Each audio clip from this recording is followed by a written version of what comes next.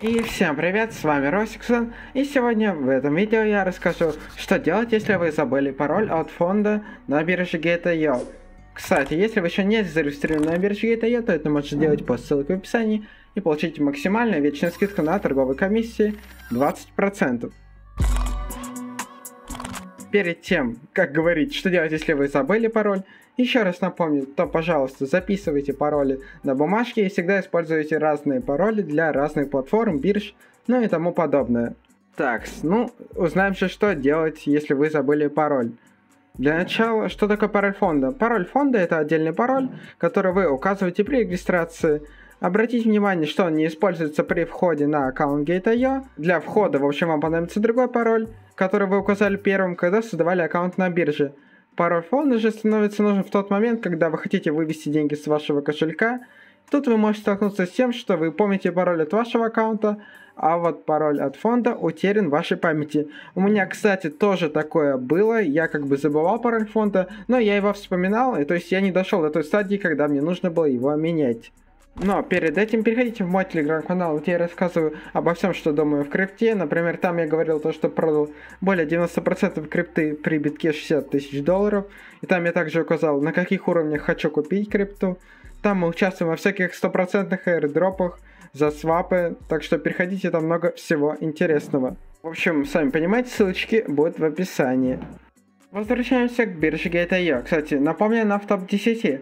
Допустим, вы захотели вывести свои деньги с биржи, открыв страницу вывода, и вы обнаружили, что для совершения операции необходимо обязательно ввести пароль фонда. Вы сильно пытаетесь, но никак не можете его вспомнить, и также вы не записали пароль фонда. Это уже ошибка. Как же быть в такой ситуации? На самом деле все очень просто. Заходим в наш профиль, далее слева вы увидите меню, кликаем на кнопку «Идентификация и безопасность», в открывшемся списке выбираем первый пункт, и перед вами откроется страница настроек безопасности. Пролистав сайт в самый низ, вы увидите пункт пароль фонда, а справа от него кнопка «Редактировать». Обратите внимание, что пароль фонда можно сделать временным, дабы обезопасить ваши средства. Вы можете выбрать час, день, либо сделать пароль постоянным. Если переживания по поводу ваших накоплений вам не свойственны и вы считаете себя рисковым крутым парнем, как я, например, Поэтому у меня постоянный пароль фонда. Так вот, чтобы изменить пароль фонда, кликаем на кнопку «Редактировать». Дальше сайт хочет, чтобы мы ввели старый пароль, а затем указали новый. Поскольку старый пароль мы забыли, клипы на кнопку «Забыли пароль». Здесь сайт попросит вас ввести уже обычный пароль для входа аккаунт. Вот, он даже об этом пишет. Вводите свои данные, и вам на email придет письмо с ссылкой, позволяющей сменить ваш пароль фонда. Нажимайте на нее и вуаля, просто вбейте новый пароль, и впредь старайтесь его не забывать, а лучше записать, как я говорил.